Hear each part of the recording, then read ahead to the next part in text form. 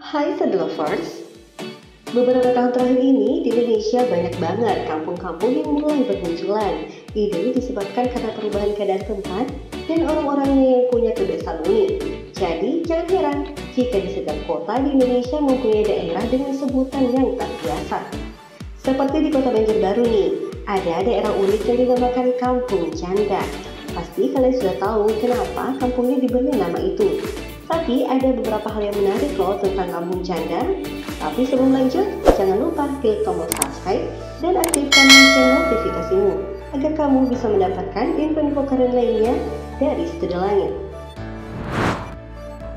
Kampung ini awalnya biasa-biasa saja karena kehidupannya hampir sama dengan yang lain. Tempat yang dihuni kurang lebih 35 kepala keluarga ini memiliki aktivitas yang tak jauh berbeda dengan kampung lain. Para lelaki mencari kerja dan yang wanita melakukan pekerjaan rumah. Tapi anehnya, kampung yang sebenarnya bernama Batua ini selama 10 tahun terakhir dipenuhi oleh janda dari berbagai umur. Kebanyakan sih umurnya 25 tahun ke atas dan alasan menjandanya pun bermacam-macam.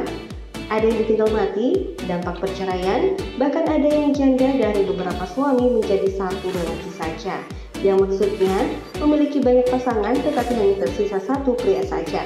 Wow, ada juga ya yang menganut poliandri, luar biasa.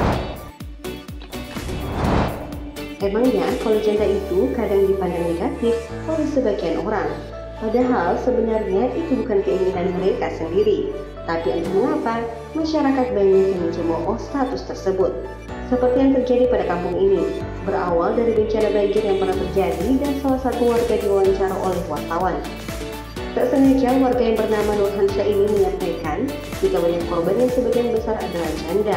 Nah dari situ wartawan menyimpulkan bahwa tempat tersebut dijuluki kampung janda dan kemudian menyebar luas ke mana-mana.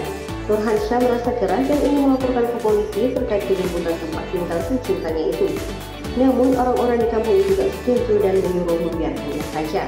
Oleh karena itu, sampai sekarang sebutan kampung janda melekat pada lokasi itu. Memang tak ada yang menyangka jika sebutan itu seperti menjadi doa bagi kampung yang ada di Banjarbaru ini. Bagaimana tidak, dari hari ke hari semakin banyak janda yang tersebar di setiap sudut kampung. Sampai-sampai bisa dihitung rumah yang tak ada jandanya. Ketua RT menyebutkan bahwa hanya sekitar tiga rumah saja yang tak terisi janda. Kebanyakan setiap rumah memiliki dua sampai tiga wanita yang menyandang status tersebut.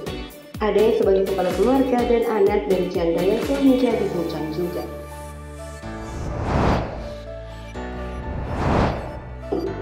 Perubahan yang ada pada kampung janda ini awalnya memang tak enak untuk didengar.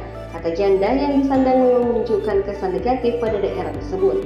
Tetapi semuanya berubah semenjak para ibu yang ditinggal suami ini membuktikan bahwa kampungnya tak seburuk yang dikira orang-orang pada umumnya.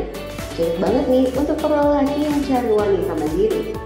Nah, kalau kalian merasa informasi ini bermanfaat, silahkan di-share dan jangan lupa like, komen, dan subscribe. Sampai jumpa di info-info keren you.